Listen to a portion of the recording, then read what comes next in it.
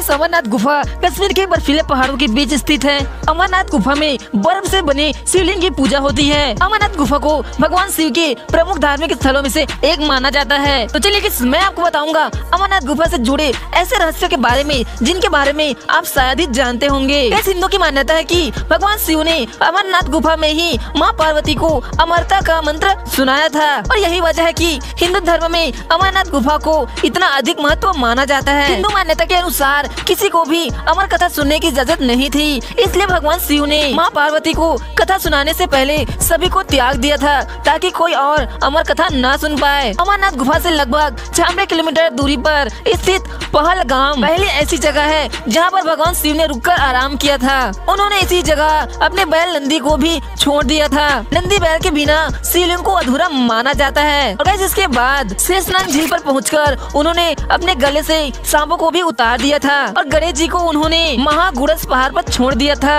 इसके बाद पंचतरणी नाम की जगह पर पहुंचकर भगवान शिव ने पाँचों तत्वों को भी त्याग दिया था। इस माना जाता है कि जब भगवान शिव ने माँ पार्वती को अमरता का मंत्र सुनाया था, उस समय उस गुफा में उन दोनों के अलावा सिर्फ़ कबूतरों का एक जोड़ा था। कथा सुनने के बाद कबूतर का वो जोड़ा अमर हो गया था और आज भी अमरनाथ गुफा में कबूतर का वो जोड़ा दिखाई देता है। अमरनाथ गुफा चारों तरफ़ से कच्ची बर्फ़ से ढकी होती है, लेकिन गुफा के अंदर मौजूद शिवलिंग पक्की बर्फ़ का होता है। और कैसे मैं आपको बता दूँ कि यह शिवलिंग पक्की बर्फ़ से किस तरह से बनता है, ये आज भी एक रहस्य बना हुआ है। माना जाता है कि अमरनाथ गुफा की खोज बूटा मलिक नाम के एक मुसलमान शख्स ने किया था। ये शख्स अपनी भेड़ बकरियों को इस जगह चरा रहा था। उसी समय बूटा की मुलाकात एक साधु से हुई। साधु ने बूटा को कोयले से भरा एक थैली भेंट में दे दिया। और जब बूटा घर पहुंचकर उस थैले को खोलकर देखा तो कोयले को सोने के सिक्कों में बदला हुआ पाया। इसे देखकर बूटा हैरान हो गया और साधु का धन्यवाद करने के लिए